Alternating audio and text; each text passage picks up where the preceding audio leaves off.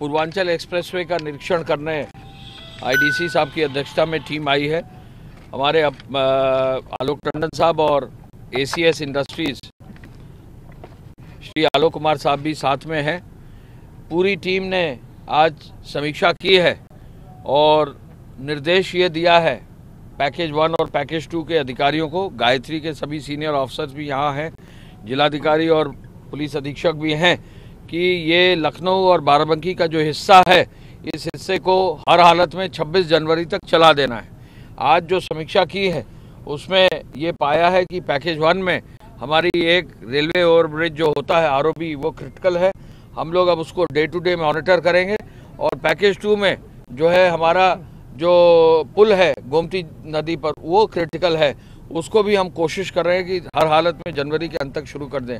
माननीय मुख्यमंत्री जी ने यूपीडा के इस प्रोजेक्ट को, पूर्वांचल को हर हालत में जल्दी से जल्दी पूरे प्रदेश के लिए, पूर्वांचल के लोगों के लिए, देश में एक मिसाल बनाते हुए इस कार्य को पूरा करने और अच्छे से अच्छे क्वालिटी करने का निर्देश दिया है। तो आज ये पहली बैठक हम लोग यहाँ आज कर रहे हैं। बहुत अच्छे से बैठक हुई है। हमारे सभी अधिकारियों ने आश्वस्त किया है कि जनवरी के अंत तक इस कार्य को करेंगे, लेकिन डे टू डे मॉनिटरिंग करके ये सुनिश्चित करेंगे कि जो भी क्रिटिकल हमारे प्रोजेक्ट्स हैं, वो प्रोजेक्ट का पार्ट है, उसको हम जल्दी जल्दी कर लें।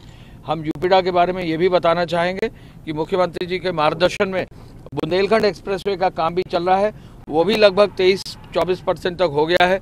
आज यहाँ पूर्वांचल एक्सप्रेसवे का जो ओवरऑल काम है, वो बासठ तिरसठ परसेंट तक हो गया है। और हमारी कोशिश है कि जनवरी के अंत तक इसको जो है रोड को चालू कर दें और लोगों को इसका लाभ दें।